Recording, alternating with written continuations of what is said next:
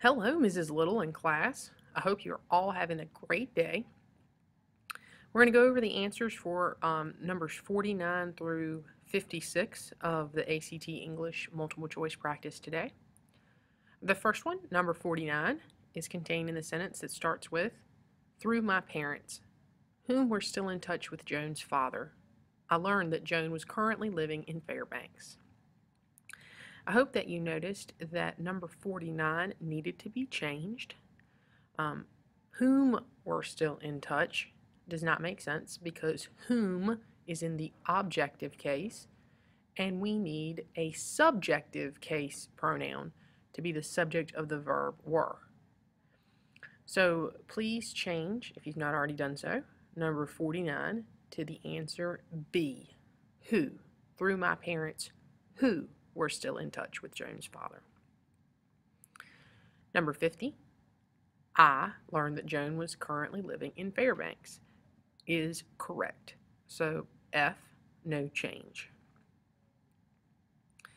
Number 51 involves the little square box. Which of the following sequences of sentences makes paragraph 3 most logical? Is it A, no change, B, 1, 3, 2, C 213, D 321. For this one, you had to go back to um, the last ACT warm-up that we did to see sentences uh, 1 and 2. And after you did that, I'm sure that you knew, noticed that the answer should be B, 1, 3, 2.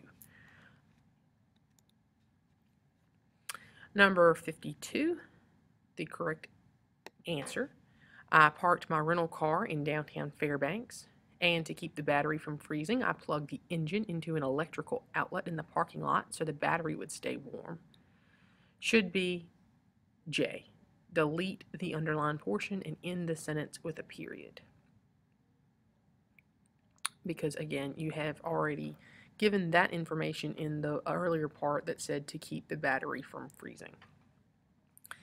The sentence that begins there, it was 20 below, zero that afternoon and the sky shone with a pale gray light. Number 53 asks you which of the following alternatives to the underlined portion would not be acceptable. And the correct answer, of course, is D. Shoned is not correct. The sky A was glowing is okay. B. The sky glowed is okay. C. The sky shined was okay. But D is incorrect because there is no word shoned. Number 54, if the writer were to delete the preceding, which means the one that comes before, sentence, the essay would primarily lose H, descriptive details that help, help set the scene of the narrator's meeting with Joan. 55, as we walked upstairs to her studio, we slipped into our familiar habits, talking about the people in our lives and our work. All right, you don't fell upon familiar habits or dropped by familiar habits or returned with familiar habits. So our correct answer is A, no change.